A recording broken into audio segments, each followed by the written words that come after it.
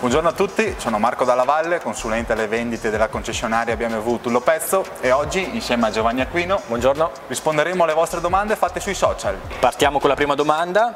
Il signor Giacomo ci chiede la differenza tra un'auto ibrida, ibrido plug-in e full electric. Le batterie delle vetture ibride hanno una capacità ridotta, a differenza delle vetture plug-in, che permettono di percorrere 40-50 km in puro motore elettrico.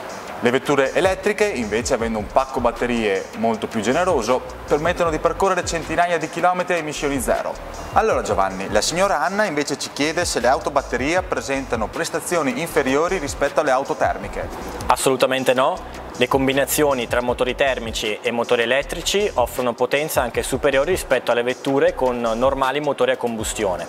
Ad esempio, la BMW X2 X-Drive 25e alle mie spalle offre una potenza complessiva di 220 cavalli ed uno scatto da 0 a 100 in meno di 7 secondi. Andiamo avanti con le domande. La signora Giulia desidera sapere i vantaggi fiscali acquistando una vettura a basse emissioni. Come vantaggi fiscali Giulia troviamo gli incentivi statali o regionali accumulabili, l'esenzione del bollo per diversi anni sulle vetture ibride o addirittura a vita sulle vetture elettriche. Bene Giovanni, invece il signor Andrea desidera sapere di più sui vantaggi di una vettura ibrida o elettrica nell'uso cittadino. La città è l'habitat naturale, infatti i vantaggi sono molteplici.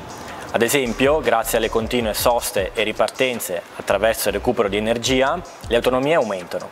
Ulteriori vantaggi possono essere ad esempio entrare in zona a traffico limitato, parcheggiare in maniera gratuita oppure l'esenzione dal blocco del traffico.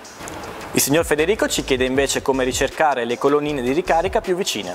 Attraverso la navigazione presente nell'infotainment della vostra vettura potete pianificare il vostro viaggio in totale relax.